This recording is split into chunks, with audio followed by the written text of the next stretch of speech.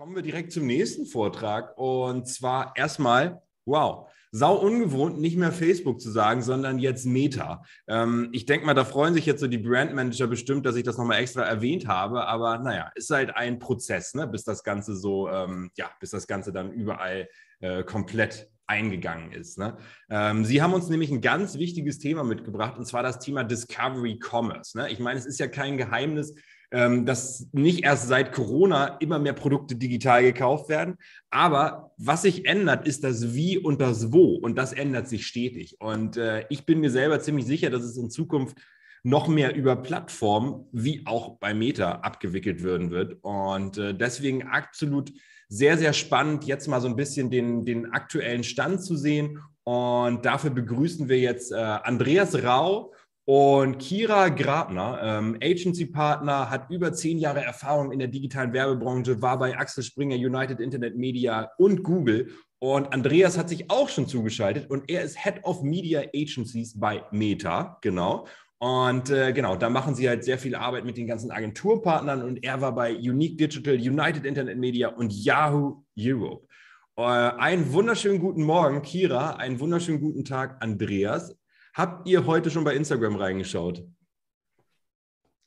Ja, natürlich.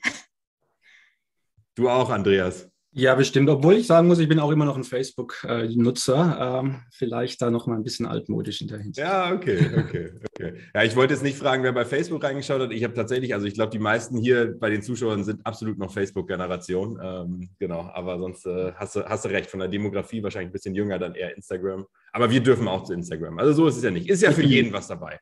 Ja? Genau. Ähm, vielen Dank, Marc, erstmal für die, für die nette Vorstellung. Und äh, uns fällt es auch manchmal noch ein bisschen ne, schwer, Meta zu sagen, anstatt Facebook nach äh, fast sechs Jahren. Ich bin Andi von Facebook, bin ich jetzt Andi von Meta, aber da uns alle. Ähm, genau, äh, wir haben ja gerade schon ein bisschen gehört, wichtiges Thema. Ähm, Consent, äh, auch Nutzer und Kontrolle zu geben, was passiert mit den Daten. Ich glaube, das ist eine grundlegende Voraussetzung. Wir wollen die Perspektive heute ein bisschen verändern. Was kann man denn tun mit, mit solchen äh, Informationen und wie kann man die denn optimal für Wachstum auch einsetzen? Ja, sehr äh, cool. Sehr gespannt. Du kannst mal deine Slides schon einblenden oder macht das genau. Kira? Weiß ich gar nicht genau. Da bin ich jetzt gerade mal dabei und ich hoffe, ihr solltet jetzt dann was sehen. Hier sind wir. Das tun wir, kann ich, kann, kann ich so bestätigen. Ja, klasse. Ja, dann, dann, dann möchte ich dich nicht weiter unterbrechen. Dann äh, überlasse ich euch direkt äh, die digitale Bühne. Wünsche euch beiden viel Spaß, äh, zugeschaltet hier beim Digital Bash und unseren Teilnehmern auch. Und wie gesagt, ne, gerne in den Chat und in die Fragenfunktion reinknallen, was euch interessiert. Ähm, ja, viel Spaß. Bis gleich. Super, vielen Dank. Ähm, wie gesagt, wir wechseln die Perspektive in, was mache ich denn mit Informationen, um die optimal zu nutzen? Und wollen heute ein bisschen über das Thema Discovery Commerce sprechen. Das ist ein elementarer Bestandteil von dem größeren Begriff Social Commerce, was wir ja gerade eigentlich in allen Foren, Zeitschriften, äh, Fachdiskussionen ist das ja ein Trend, der durchaus häufig vorkommt. Äh, in den wollen wir ein bisschen einsteigen. Und da vorab auch mal äh, eine Frage an euch stellen, die erste. Ähm, wie groß denkt ihr denn, wird der Social Commerce Markt in fünf Jahren sein, in 2026? Ähm, die Frage wird für euch, glaube ich, jetzt hier freigeschaltet. Ich äh, präsentiere einfach ein bisschen weiter.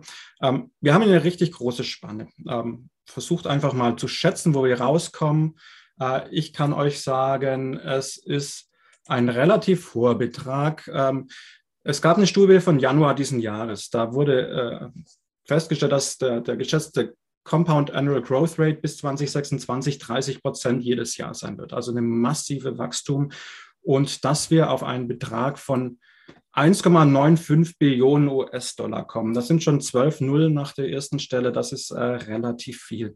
Aber wichtig für uns vor allem ist mal drauf zu schauen, was lässt sich denn daraus ähm, folgern.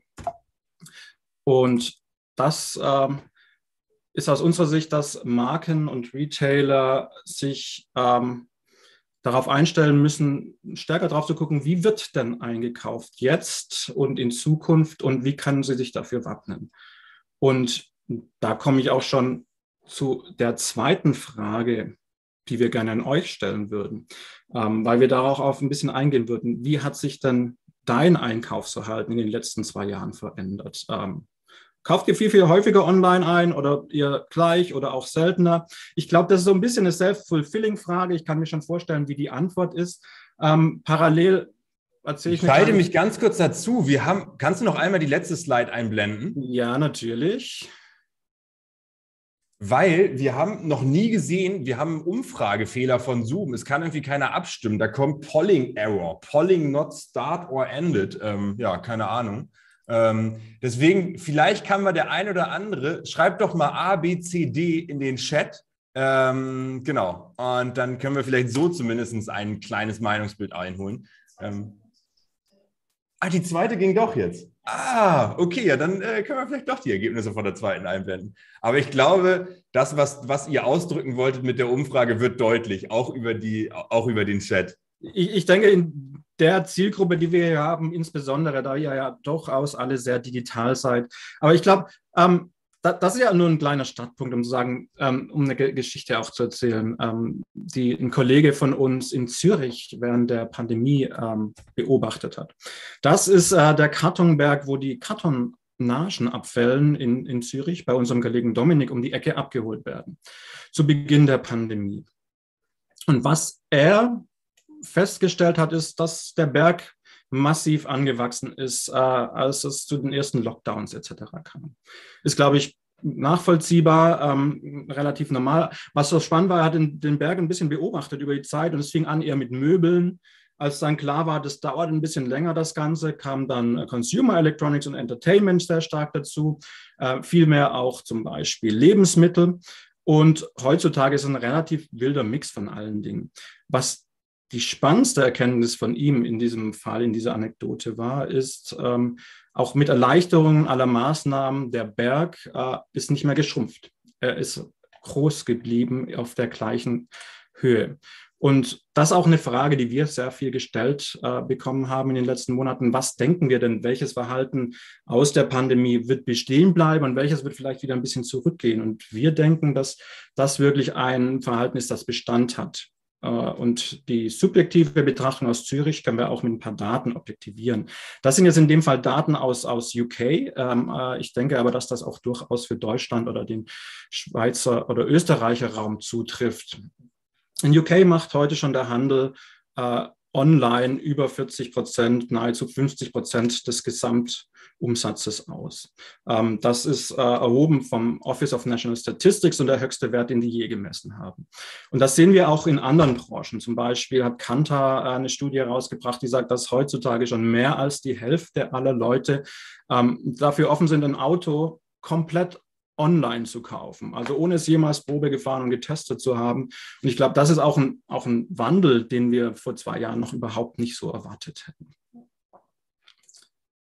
Wir gehen also Stück für Stück in eine 50-50 Einkaufswelt. Heißt, äh, wir werden bald 50 Prozent aller Sachen digital einkaufen und 50 Prozent aller, aller Sachen stationär.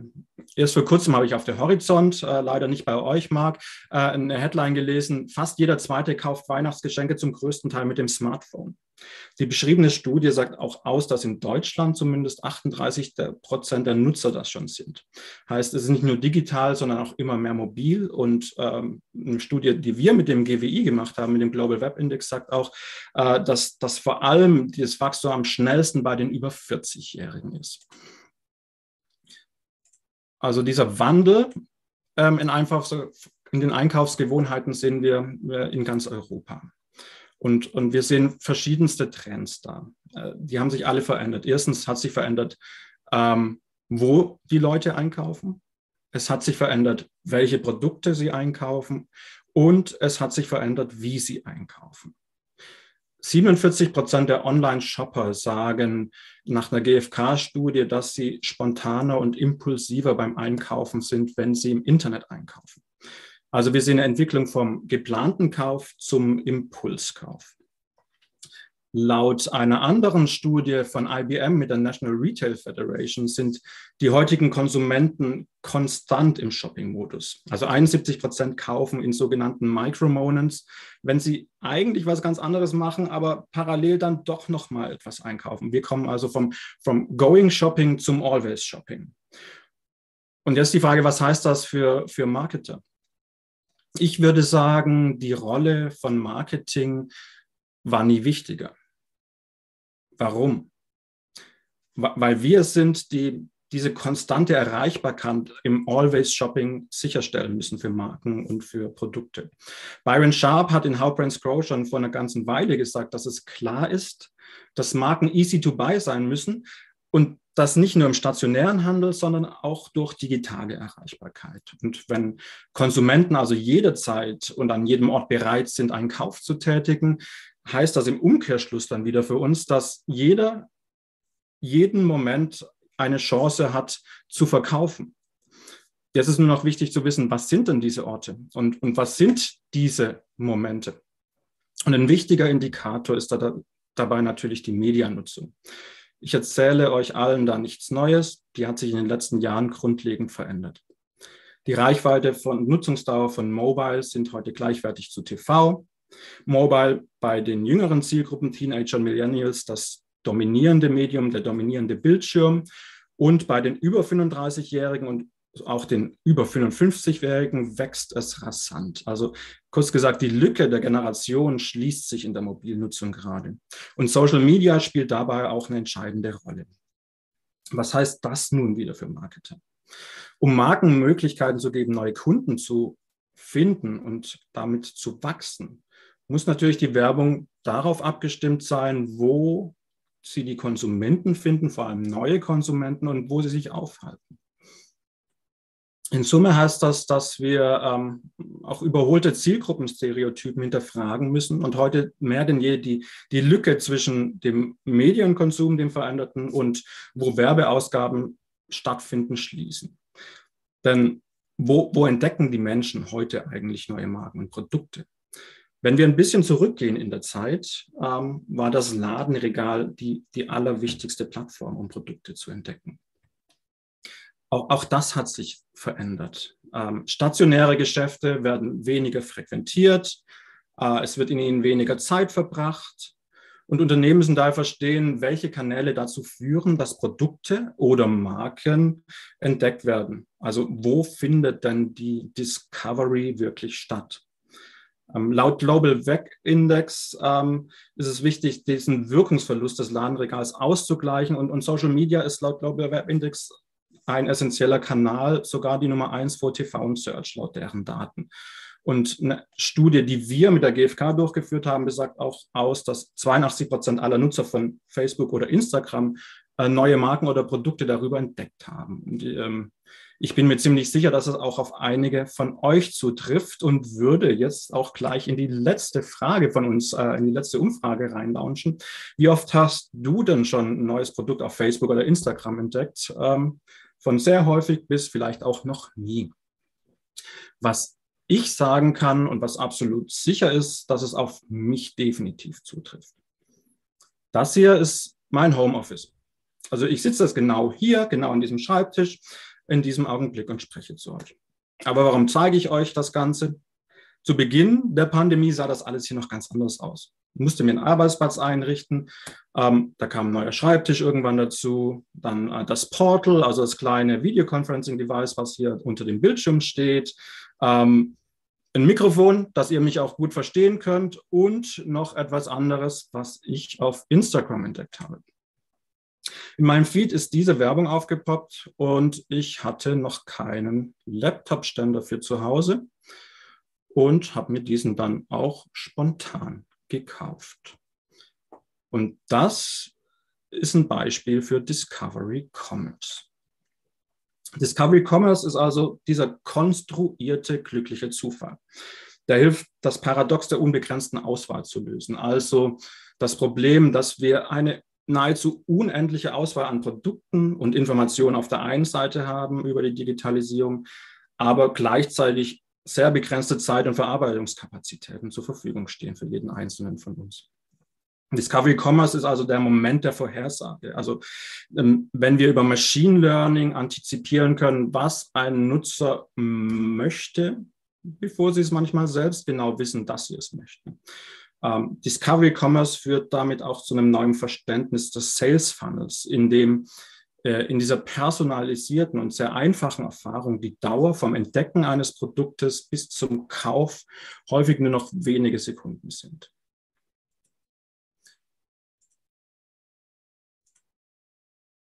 Jetzt äh, muss ich gerade zum nächsten Slide weiterkommen. Genau. Ähm, für die Konsumenten fühlt sich das natürlich sehr einfach an und sehr natürlich. Sie entdecken die Produkte, wo sie gerade sind und können sie auch sofort einfach einkaufen. Wenn wir auf die Unternehmen wechseln, was müssen die denn aber jetzt tun, um diese einfache Erfahrung zu erzeugen und was sind die Schritte, um Discovery Commerce zu aktivieren? Und das sind zwei Fragen, auf die wird Kira nun eingehen und euch mehr dazu erzählen. Super, danke Andi. Und du kannst direkt auf die nächste Folie gehen. Ähm, es sind allgemein vier Bereiche, die von Unternehmen gemeistert werden müssen, um wirklich sicherzustellen, dass Discovery Commerce gut funktioniert. Der erste Bereich ist Personalisierung. Also man muss sicherstellen als Unternehmen, dass eure Kampagnen mit der richtigen Signal Strategy hinterlegt sind. Also wie können die Signale der Nutzer eingebunden werden mit dem passenden Media Setup. Dann der zweite Bereich ist Inspiration. Wie können Sie starke Formate und Creatives nutzen, die zur Interaktion führen? Der dritte Bereich ist das ganze Bereich Konvertierung. Also wie konvertieren wir wirklich User, dass sie zum Käufer werden, mit Hilfe von Tools und Funktionen. Und der dritte Punkt, den wir als ganz wichtig empfinden, ist der ganze Bereich Lernen und Optimieren. Das ist ein kontinuierlicher Prozess. Also das scheint eigentlich wie ein sehr simpler Prozess, aber wir sehen ganz oft, dass auch jedes Unternehmen ähm, etwas anders tickt und deswegen muss jedes Unternehmen auch einen eigenen Lernansatz haben, um zu sehen, was funktioniert denn gut. Einmal gerne durchklicken, Andi, und auch direkt zur nächsten Folie. Genau, es gibt eine, und hier kannst du auch einmal alles genau durchklicken. Ähm, es gibt eine ganze Reihe an Tools und Möglichkeiten, die zum Erfolg führen können. Und oft liegt wirklich in der passgenauen Kombination die Magie, um ähm, Discovery Commerce richtig zu aktivieren. Auf der ganz linken Seite im gelben Bereich sehen wir die Fundamentals oder die Basics, wie wir sie nennen. Und das sind wirklich die Grundlagen für den Erfolg. Man muss einmal die Erfassung der wichtigsten ähm, Nutzersignale ähm, optimieren, ob das jetzt mit dem Pixel noch aktuell ist oder wenn wir uns in die Zukunft bewegen, wo ähm, in die Cookieless Future, dass man das dann mit der Conversions API bei uns macht. Dann gibt es den Produktkatalog.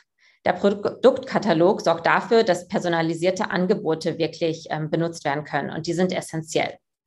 Dann muss man sicherstellen bei den Basics, dass ein optimales Setup der Kampagne ähm, besteht, damit Machine Learning und die Automatisierung wirklich ihre ähm, die glücklichen Zufälle erzeugen können, damit Nutzer, so wie Andy vorhin, ähm, diesen ähm, Computerstand finden können. Dann sind wir im grünen Bereich, der ganze Aktivierungsbereich. Und da sind, kommen spezielle Commerce-Lösungen in den Fokus. Zum Beispiel Ads. Da haben wir Dynamic Ads, wir haben Produkt-Tags oder wir haben auch das ganze Thema Collaborative Ads. Da werde ich nachher auch noch ein paar Beispiele zeigen. Dann gibt es in der Mitte den Conversational Commerce Bereich. Also wie kann man die direkte Kommunikation mit den Usern machen? Und ähm, was man auch sicherstellen muss, ist nochmal die Shopping-Oberflächen ist man auf Instagram Shopping unterwegs oder hat, also hat man eine Shopseite auf Instagram und hat man eine Shopseite auf Facebook. Das sind die wichtigen Sachen bei uns. Und dann nochmal zu guter Letzt, wie gesagt, der ganze Testing- und Lernansatz, ähm, damit man sicherstellt, dass man immer weiter seine Kampagnen optimieren kann und ähm, die Discovery Commerce Journey immer eine weitere Journey ist und nicht quasi ein Endziel. Ähm, ich könnte jetzt stundenlang über diese Folie sprechen und auch über die ganzen Lösungen auf der Folie, aber ich denke, es ist noch besser, wenn ich euch einfach ein paar Beispiele zeige, wie Kunden das erfolgreich gemacht haben. Als erstes haben wir hier ein Beispiel von Samsung. Samsung in Deutschland hat Dynamic Ads als eine Always-On-Strategie benutzt, um ihr gesamtes TV-Sortiment zu ähm, verkaufen. Was haben sie denn überhaupt gemacht? Also sie haben Dynamic ähm, Ads geschalten, ähm, um Kunden zum einen zu identifizieren und dann auch nochmal im Retargeting zu nutzen. Sie haben insgesamt ein Produktset von über 400 Artikeln benutzt. Ähm, und diese Kampagnen laufen andauernd, also die ganze Zeit. Warum ist das Ganze wichtig oder warum habe ich jetzt Samsung auch als Beispiel mitgebracht? Andi hat vorhin gesagt, was wir als wichtig ähm, sehen im Bereich Discovery Commerce, ist, dass Unternehmen ähm, wirklich mal überlegen, ob die Zielgruppen, die sie aktuell haben, die Annahmen für die Zielgruppen, ob das noch die richtigen sind. Und Samsung hat gesagt, sie stellen das in Frage und ähm, haben jetzt einen ganz anderen Ansatz, wirklich um neue User zu finden, die sie vorher mit ihrer alten Strategie nicht ähm, berücksichtigt hätten. Dann gerne Andi zur nächsten Folie und zum nächsten Beispiel. Das ist jetzt ein Beispiel, wie ich es schon erzählt hatte, zu Collaborative Ads. Mit Facebook Collaborative Ads können Einzelhändler einfach und sicher die Performance-Marketing-Kampagnen von Marken dafür nutzen, ihre Produkte zu bewerben, wie in diesem Fall ähm, DM und Milupa gemeinsam. Ähm, Milupa hat keinen eigenen Online-Shop und deswegen ähm, teilt quasi ähm, DM den Produktkatalog oder ein Segment aus dem Produktkatalog, nicht den gesamten Produktkatalog, mit Milupa und Milupa kann darauf zugreifen. Und ähm, die, die Konsumenten, die dann die Milupa-Anzeigen sehen, sind quasi Personen, die im DM-Online-Shop ähm, per Signalen ähm, sichergestellt oder schon mal gezeigt haben, dass sie Interesse an dem Produkt haben und werden dann entweder in die App geleitet oder auf die Website, je nachdem, was ähm, Milupa und DM hier ausgewählt haben. Und das ist eigentlich eine ganz schöne Möglichkeit, wie vor allem auch ähm, Kunden aus dem FMCG-Bereich äh, wirklich ähm, im E-Commerce-Bereich oder im Discovery-Commerce-Bereich präsent sein können. Genau, dann gerne zum nächsten, zum nächsten Beispiel, Andi. Das hier ist ein Beispiel, das auch aus der Pandemie heraus von Made.com. Made.com war eins der Läden, die ähm, nicht mehr die Möglichkeit hatten, während der Pandemie oder während der Lockdowns ihre Möbel zu verkaufen, weil die Personen nicht mehr in den Laden kommen konnten und ähm, sich anschauen konnten, wie groß ein Sofa ist, wie groß ein Sessel ist. Ähm, und haben dann gemeinsam mit unserem Creative Shop bei Facebook und mit einem Partneragentur zusammengearbeitet um einen AR-Filter zu bauen. Und hier sieht man ganz gut, wie man wirklich diesen ähm, Sessel quasi bei sich in die Wohnung stellen konnte, um zu schauen, passt dieser Sessel. Also hier sehen wir nochmal einen ähm, wirklich sehr inspirierenden Ansatz, wie man direkt Produkte zu Hause testen kann und dann verkaufen kann. Ich habe euch noch ein Beispiel mitgebracht. Ähm, gerne auf die nächste Folie gehen. Genau, von My Best Book. My Best Book hat ähm, unsere neue Lösung Conversion API benutzt. Die Conversion API ist eine sichere Integration, die es Werbetreibenden ermöglicht, wichtige Web- und Offline-Ereignisse direkt vom Kundenserver mit Facebook zu ähm, teilen.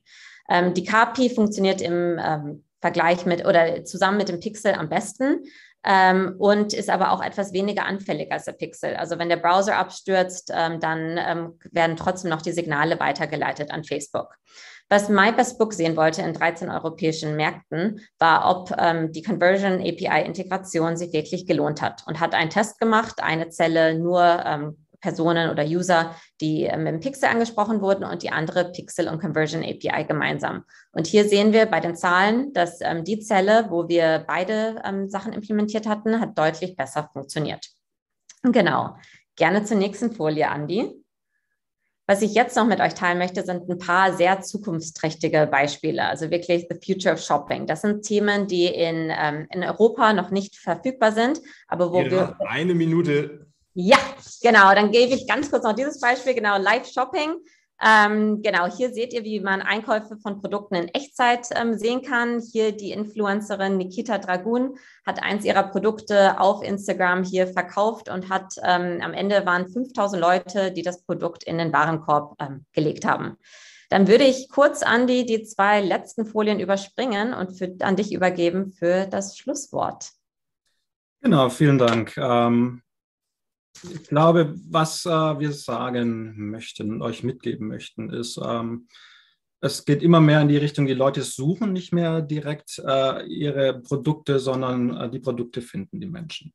Ähm, und um das zu ermöglichen und damit zu wachsen, äh, müssen jetzt ist gerade die Zeit, äh, die, diese Fundamentals, diese Basics zu, zu implementieren. Also über die technischen Grundlagen, Signals, Kataloge, die richtigen Audience anzusprechen und so weiter, um von dieser Automatisierung profitieren zu können ähm, und somit auch für die Zukunft des Shopping äh, gewappnet zu sein. Ähm, wenn es in Zukunft von euch dazu Fragen gibt, äh, sind Kira und ich natürlich gerne für euch äh, verfügbar. Ähm, hier seht ihr unsere äh, LinkedIn-Profile kommt einfach direkt auf uns zu, wenn es irgendwas gibt. Äh, wir sind äh, froh, wenn wir euch da eure Fragen beantworten können. Und vielleicht gibt es jetzt ja noch eine ähm, aus der Runde heute hier. Yes, für eine Frage haben wir noch Zeit. Äh, ich kann bestätigen, die beiden sind sehr nett und beißen nicht. Also lasst denen gerne einen Connect da bei LinkedIn und haut denen mal eine Frage rüber. Ähm, die connecten oder helfen euch dann direkt selber weiter. Ich blende noch mal eine Frage ein. Auf jeden Fall erstmal ne, vielen, vielen Dank, dass ihr da wart, dass ihr das mit uns geteilt habt heute. Äh, genau. Und dass wir auch äh, drei Umfragen hatten und die erste nicht ganz ging. Aber ich glaube, wir wussten eh, auf was das hinauslaufen sollte. Ähm, genau.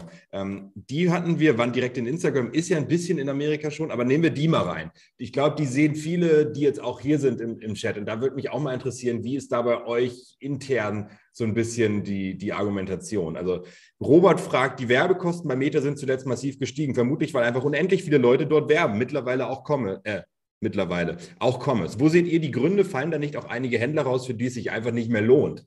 Ähm, was sagt ihr dazu? Ich habe gelesen, bis zu 40, 50 Prozent im Mittel gestiegen, teilweise die Werbepreise. Mhm. Ähm, ich, ich glaube, das, äh, das ist eine sehr vielschichtige Frage. Die erste Antwort oder die erste Frage dabei ist, denke ich, wie definiere ich den Werbepreis? Äh, wenn ich jetzt auf einen bloßen CPM schaue, dann, dann äh, sind die gestiegen durchaus, äh, je nach Branche auch unterschiedlich.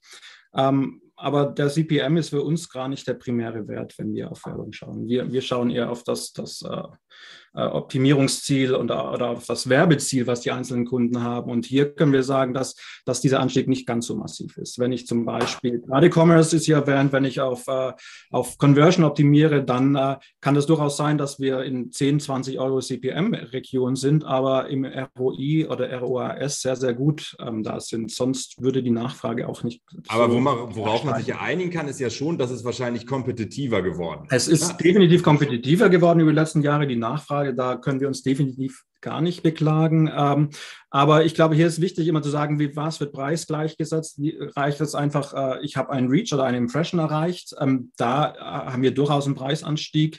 In der Effektivität oder Effizienz hinten raus ähm, sehen wir das nicht ganz so stark. Okay, okay. Und zweiter Punkt ist, denke ich, auch dieses Jahr nochmal äh, sehr stark ein Pandemiefaktor, äh, wo wir sehen, dass äh, Budgets in 2020 äh, über alle Kanäle hinweg eingespart wurden und äh, dieses Jahr vor allem auch im ersten Halbjahr äh, deutlich äh, stärker nachgeholt oder ab Q4 letzten Jahres wieder äh, eine deutlich höhere Nachfrage über alle Kanäle da war. Das hat natürlich dann einen zusätzlichen Faktor. Ja, Im Endeffekt ist es halt die Nachfrage, die einfach auch gestiegen ist und umso mehr Leute sich um die begrenzten genau. Plätze prügeln, ne, umso äh, steigt auch der Preis. Wer mehr Wir sind ein optionsbasiertes System. Ähm, ja, das äh, ver verstehen alle Programmatic-Leute hier nur zu gut und das ist ein ganz natürlicher Faktor dabei. Ja.